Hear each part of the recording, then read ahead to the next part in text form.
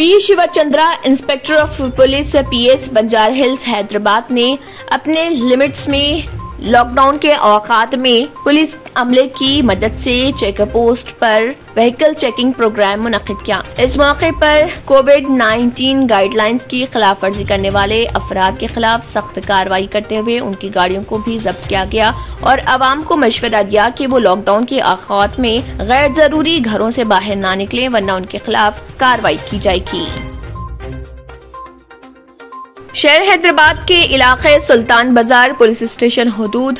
Medical college के करीब एक फुटवेयर शॉप में शॉर्ट सर्किट के बायस आतिश जदगी का वाकया पेश आया, जिसके सबब वहीं पर मौजूद पान डब्बा और sugar cane machine juice center आतिश जदगी की लपेट में आ गया। इस दौरान एक लाख रुपए मालियत का नुकसान बताया गया है।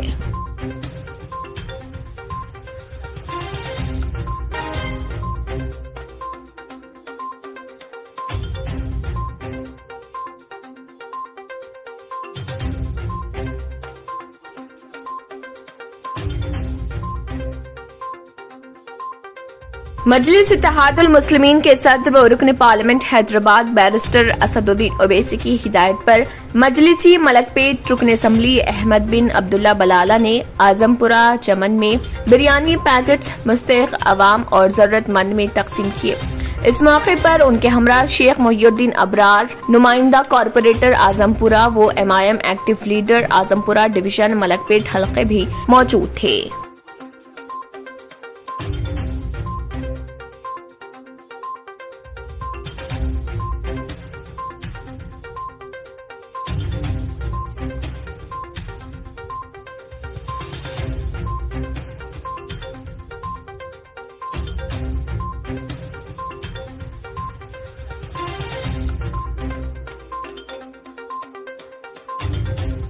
Doctor G Srinivas Rao, director public health and family welfare ने हुकूमत Telangana, Cyberabad police S C और मेडिस ओवर के मुश्तर इकदाम को मेगा वैक्सीनेशन ड्राइव का मुश्तर इकदाम करार किया। जो हाईटेक्स में मुनद किया गया था। कम से कम वक्त में ज़्यादा से ज़्यादा लोगों तक पहुँचने के लिए पुराने शहर समेत शहर के दूसरे कोनों में इस तरह की ज़्यादा मेगा वैक्सीनेशन ड्राइव का एहतमाम किया जा रहा। Telangana super speciality hospital association के general secretary R Govind Hari Serilingampally के रुकन असम्बली अर्कापोदी गांधी ने कहा है कि वैक्सीनेशन एक मौशराती ज़िम्मेदारी है। ये गलत तस्वुर है कि लोगों को वैक्सीन के बारे में मालूम नहीं जब दूसरी लहर सुस्त हो रही है तो उसे क्यों ना लें? VC Sajjanar IPS commissioner police Cyberabad ने लोगों को वायरस के फैलाव से ज्यादा तेजी से टीके लगाने में तेजतर होने का मशवरा दिया इस दौरान Krishna Yedula secretary general SC SC और दीगर अफसरान व doctors nurses admin staff police अमला और दीगर भी मौजूद थे ఇప్పటి వరకు తెలంగాణ రాష్ట్రంలో మనం సుమారు యాభై రెండు లక్షల మందికి పైగా ఈరోజు వ్యాక్సినేషన్ అందించుకున్నాం మొత్తం మీద మన టార్గెటెడ్ పాపులేషన్ వచ్చేసేసి సుమారు రెండు కోట్ల డెబ్బై ఐదు లక్షల మందికి ఈరోజు వ్యాక్సిన్ ఎంచుకోవాలి అంటే సుమారు మనకి ఐదున్నర కోట్ల వ్యాక్సిన్ డోసెస్ కావాలి. ఇది ఒక కేంద్ర ప్రభుత్వమో రాష్ట్ర ప్రభుత్వమో పనిచేస్తే సాధ్యమయ్యేది కాదు. ప్రజల భాగస్వామ్యంతో ప్రైవేట్ హాస్పిటల్స్ల కోఆపరేషన్తో కోఆపరేషన్తో మాత్రమే ఇది చేయడానికి సాధ్యమవుతుంది. అందుకని కేంద్ర రాష్ట్ర ప్రభుత్వాలు ద్విముఖ ఊహ వ్యూహంతో ఎందుకంటే రేపు పొద్దున ఈ కరోనా వైరస్ సోకకుండా ఉండాలంటే మన ముందున్న ఏకైక మార్గం వ్యాక్సిన్ వేయించుకోవటం.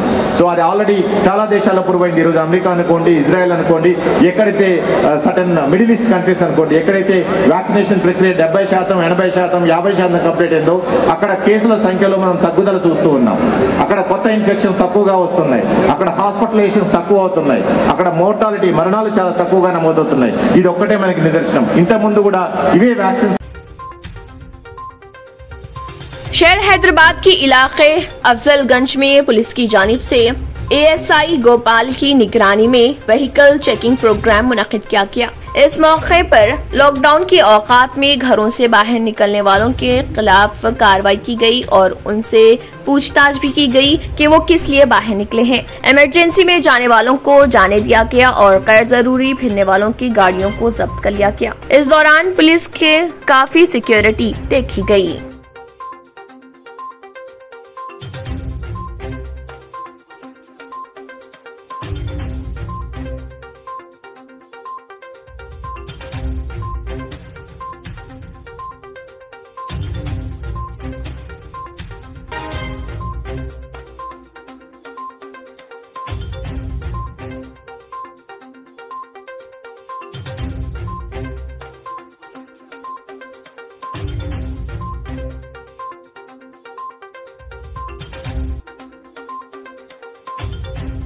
आपने हमारे चैनल को अभी तक सब्सक्राइब नहीं किया है तो यहाँ पर रेड कलर का सब्सक्राइब बटन दिख रहा है।